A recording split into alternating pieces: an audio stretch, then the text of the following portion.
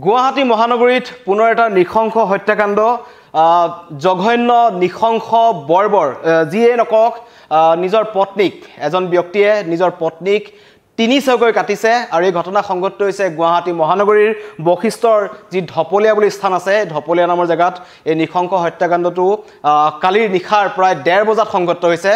সমগ্ৰ ঘটনা জনাবলৈ আহিছোঁ। আহ, ইতিমধ্যে আপোনালোকক জনাইছোঁ এটা নৃশংস হত্যাকাণ্ড আৰু ঘটনা ঢপলীয়া লক্ষ্মণ বিশ্বাস নামৰ ব্যক্তিজনে তেখেতৰ পত্নী দীপালী পোদ্দাৰক নিজৰ মাতৃগৃহতে হত্যা কৰিছে। ঘটনা এনেকুৱা ধৰণৰ এই দীপালী পোদ্দাৰ নামৰ মহিলাগৰাকী আছিল।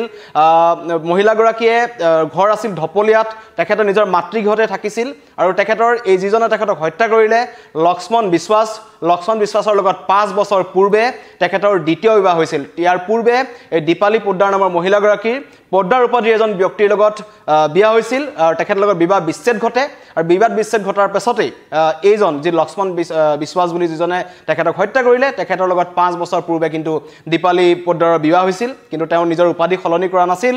পূৰ্বৰ স্বামীৰ যি উপাধি আছিল সেই উপাধিৰে তেওঁ নিজৰ পৰিচয় ৰাখিছিল। কিন্তু কালি নিশা এনে কি ঘটনা সংঘটিত হ'ল সেইটো বৰ্তমানলৈকে পোহৰলৈ অহা নাই কিন্তু সন্ধিয়া সময়ৰ পৰাই দুয়োৰে মাজত কিবা এটা কথাক লৈ পেলাই মতানৈক্য হৈছিল আৰু সেই মতানৈক্যৰ পৰিণতিতেই নিশা প্ৰায় ডেৰ বজাত জানিব পৰা মতে যে আৰক্ষীয়ে যেনেধৰণে তথ্য পাইছে বা যি প্ৰাৰম্ভিক তথ্য আমাৰ হাতলৈ আহিছে সেই তথ্যৰ ভিত্তিত জনাইছোঁ যে নিজৰ পত্নীক তিনি চৌকৈ নিজৰ ঘৰৰ মাতৃঘৰৰ ভিতৰতে কাটিলে আৰু কাটি এটা বস্তাত ভৰাই এই হত্যাকাৰী লক্ষ্মণ বিশ্বাসে পেলাবলৈ লৈ আনিছিল নিজৰ পত্নীৰ মৃতদেহ। আৰু সেইখিনি সময়তেই যি পেট্ৰলিঙৰ বাবে আৰক্ষী থাকে আৰক্ষীৰ গাড়ী আহে আৰু দুখনমান ডাম্পাৰ চালকে প্ৰত্যক্ষ কৰে যে এটা বস্তাত ভৰাই কিবা এটা বস্তু এই লক্ষ্মণ বিশ্বাসে লৈ আনিছিল। আৰু সন্দেহ উপজে সন্দেহ উপজাত যেতিয়া সোধা পোছা কৰা হয় বা অধিক সোধা পোছা আহে তেতিয়া ওলাই পৰে যে সেই বস্তাটোৰ ভিতৰত পত্নীৰ মৃতদেহ তিনি টুকুৰা অৱস্থাত পোৱা গৈছিল। দীপালী পদ্ৰ অতি নৃশংস শুনিলেই অতি শিহৰণকাৰী শুনিলেই ভয় লগা। কিন্তু কি কাৰণে সংগত হ'ল এই হত্যাকাণ্ড? সেইটো বৰ্তমানলৈকে পোহৰলৈ অহা নাই। সকলো ঠিকেই চলি আছিল দুয়োৰে মাজত।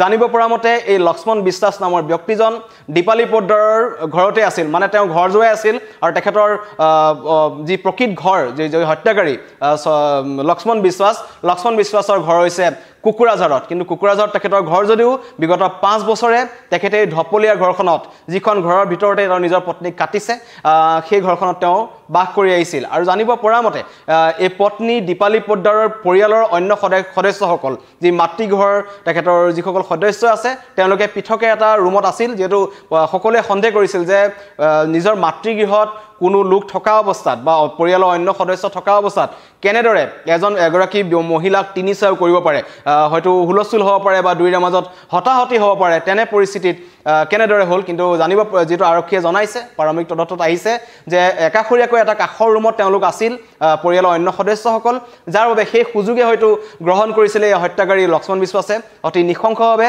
নিজৰ পত্নীক হত্যা কৰিলে। আৰু দুয়োৰে মাজত যিহেতু দীপালী পদ্ৰাৰ পূৰ্বে বিবাহ হৈছিল প্ৰথম বিবাহৰ ফালৰ পৰা প্ৰথম স্বামীৰ ফালৰ পৰা তেজৰ তেওঁৰ দুটি সন্তান আছিল। আৰু ঠিক এইজন যি লক্ষ্মণ বিশ্বাস যি হত্যা কৰিলে লক্ষ্মণ বিশ্বাসৰ ফালৰ পৰাও কিন্তু তেওঁৰ দুগৰাকী সন্তান আছিল। আৰু তাৰ পিছতে সকলো তেওঁলোকৰ এনেকুৱা নাছিল যে পূৰ্বৰে পৰা পাৰিবাৰিক কণ্ডল আছিল তেনে কিন্তু তেওঁলোকৰ মাজত নাছিল। কিন্তু হঠাৎ কালি এই ঘটনা ঘটি গ'ল আৰু ঘটি যোৱাৰ পিছত যি ঘটনা পোহৰলৈ আহিছে যে তেওঁ হয়তো পৰিকল্পিতভাৱে হত্যা কৰিছিল নিজৰ পত্নীক কাৰণ তাৰ অন্যতম কাৰণ হৈছে যে বস্তাত ভৰাই পেলাবলৈ আনিছিল। এনেকুৱা ধৰণৰ ঘটনা নিজৰ পত্নীক হত্যা কৰি টুকুৰা টুকুৰকৈ কাটি অন্য স্থানত পেলাই দিয়া ঘটনা কিন্তু গুৱাহাটী মহানগৰীত এইটো প্ৰথম নহয়। ইয়াৰ পূৰ্বেও ইয়াৰ পূৰ্বে এনেবোৰ ঘটনা ঘটিছে। যদি বন্দনা কলিতাৰ কথা ক'বলৈ যাওঁ আজিলৈকে কিন্তু আহ, মৃতদেহৰ মূৰ দুটা বিচাৰিয়ে নাপালে। গতিকে তেনেকুৱা ধৰণৰ হয়তো পৰিকল্পনা কৰিছিল বা হত্যাকাণ্ডটো সংঘটিত কৰাৰ কিছুদিন পূৰ্বৰে পৰা হয়তো আহ, লক্ষ্মণ বিশ্বাসে পৰিকল্পনা কৰিছিল পত্নীক কেনেদৰে হত্যা কৰিব কাটিব ক'ত পেলাব। গতিকে এই ঘটনাই অধিক ৰহস্যৰ মাজলৈ নিছে আৰু নিশাৰ ভাগতেই কিন্তু ফটাশীল আৰক্ষীয়ে ঘটনাস্থলীতেই যিহেতু বস্তাৰ মৃতদেহ থকা অৱস্থাতেই লক্ষ্মণ বিশ্বাসক পায় তেখেতক লগালগ গ্ৰেপ্তাৰ কৰে জেৰা অব্যাহত ৰাখিছে। কিন্তু প্ৰকৃত কাৰণ যে কিয় নিজৰ পত্নীক এনেদৰে অতি নৃশংসভাৱে কাটি বস্তাত ভৰাই পেলাই দিবলৈ নিছিল এইজন লক্ষ্মণ বিশ্বাসে সেইটোক লৈ পেলাই প্ৰশ্ন উত্থাপন হৈছে। কাষৰীয়া ব্যক্তিৰ ফালৰ পৰা জনা মতে বা যিসকল নিকটৱৰ্তী লোক আছে তেওঁলোকৰ ওচৰ চুবুৰীয়া বা ৰাইজ আছে তেওঁলোকৰ মতে খুব বেয়া সম্পৰ্ক নাছিল যিহেতু তেওঁলোকৰ ফালৰ পৰা দুজন সন্তানো আছিল আৰু তাতেই বাস কৰিছিল। গতিকে এনে কি ঘটনা ঘটি গ'ল কালিৰ দিনটোত? আৰু যিহেতু তেওঁৰ মাজত তেওঁলোকৰ মাজত কাজিয়া হৈছিল তাৰ পৰিণতিত এই ঘটনা ঘটিল।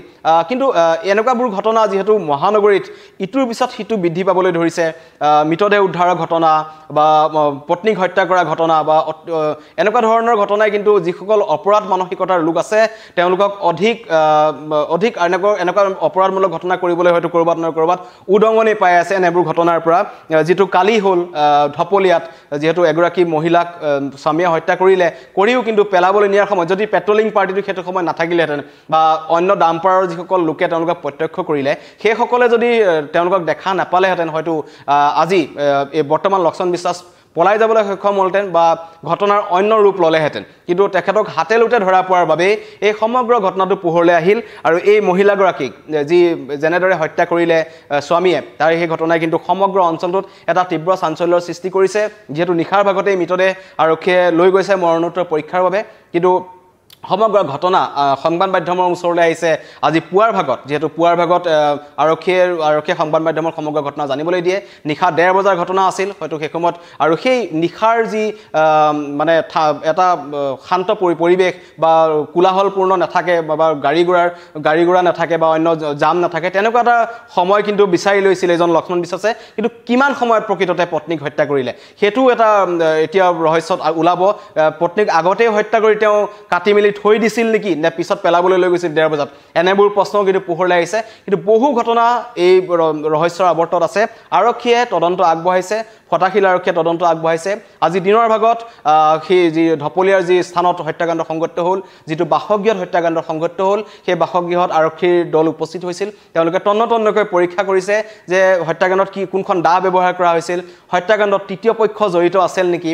যে অকলেই এই হত্যাকাণ্ড সংঘটিত কৰিছিল নেকি? কেনেকৈ কাষৰ ৰুমটোত থকা অৱস্থাতেই এগৰাকী মহিলাক তেওঁ মাৰিছে শীতল মস্তিষ্কৰে মাৰিছে নে তেওঁক অন্য ধৰণে অচেতন কৰি লোৱা হৈছিল সেইটো এটা পোহৰলৈ আহিব কাৰণ এগৰাকী মহিলাক যদি কটা হয় বা তেখেতে হয়তো চিঞৰ বাখৰ কৰিব বা অন্য ধৰণৰ হতাহতিত লিপ্ত হ'ব পাৰে নিজৰ প্ৰাণ বচাবৰ বাবে চেষ্টা কৰিব তেনেধৰণৰ কিন্তু ক্লুবোৰ এতিয়ালৈকে বৰ্তমানলৈকে অহা নাই। এইটো হয়তো হত্যাকাণ্ডত অন্য ব্যক্তিও জড়িত থাকিব পাৰে হয়তো ঘটনাৰ আঁৰত অন্য কাৰণো থাকিব পাৰে। পৰকীয়া প্ৰেমৰ কথাটো ইয়ালৈ অহা নাই। কাৰণ এইটো কাৰণেই অহা নাই যে বৰ্তমানলৈকে যিহেতু স্থানীয় লোকসকলৰ যি ভাষ্য আহিছে বা জানিব পৰা মতে তেওঁলোকৰ কিন্তু যি তেওঁলোকৰ মাজত যি সম্পৰ্ক আছিল সেই সম্পৰ্কটো খুব বেয়া নাছিল। যদিও কাজিয়া হৈছিল কালিৰ দিনৰ ভিতৰত কিন্তু কাজিয়াৰ কাৰণটো কি? সম্পত্তিৰ লোভত এনেকুৱা ধৰণৰ ঘটনা হৈছিল নেকি? বা পূৰ্বৰ আগৰ যি ঘটনা আগৰ যি জীৱন আছে দীপালী পোদ্দাৰ যি তেওঁ পূৰ্ব আগৰ প্ৰথমজন যি স্বামী আছে তেনেকুৱা ধৰণৰ কিবা ঘটনা পোহৰ এই ঘটনাৰ লগত জড়িত নেকি? সেইটো কিন্তু আৰক্ষীয়ে তদন্ত কৰিছে। ফটাশিল আৰক্ষীয়ে জেৰা চলাইছে। বৰ্তমানো যিহেতু লক্ষ্মণ বিশ্বাস বুলি যিজন হত্যাকাৰী তেখেতক আৰক্ষীয়ে নিশা ডেৰটা বজাতেই এৰেষ্ট কৰিছে আৰু তেওঁৰ পৰা তথ্য পোহৰলৈ আহিব।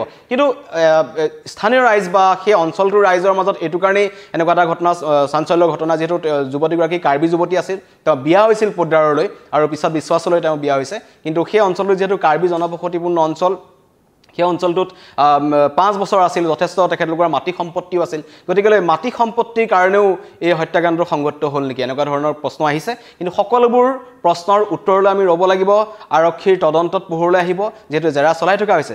কিন্তু পুৱাই পুৱাৰ ভাগতে খবৰটো আহিল যে গুৱাহাটী মহানগৰীত এটা নৃশংস হত্যাকাণ্ড পুনৰ স্বামীৰ নৃশংসতাৰ বলি হৈ প্ৰাণ হেৰুৱাবলগীয়া হ'ল দীপালী পোদ্দাৰ নামৰ এগৰাকী মহিলাই। আৰু তেখেতক অতি বেয়াকৈ তিনি চাউ কৰি কাটিছে তিনি চাউ কৰিছে তেওঁৰ নিজৰ স্বামীয়ে। যিজন স্বামীৰ লগত তেওঁ প্ৰথম স্বামীৰ বিবাহ বিচ্ছেদৰ পিছত দ্বিতীয় বিবাহ কৰিছিল নতুন জীৱন আৰম্ভ কৰিছিল কিন্তু সেইজন স্বামীৰ হাততে তেখেতৰ প্ৰাণ গৈছে। বৰ্তমান তদন্ত আগবঢ়াই থকা হৈছে।